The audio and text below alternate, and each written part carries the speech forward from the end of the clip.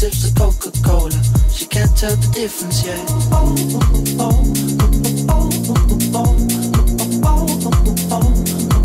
She can't tell the difference yet.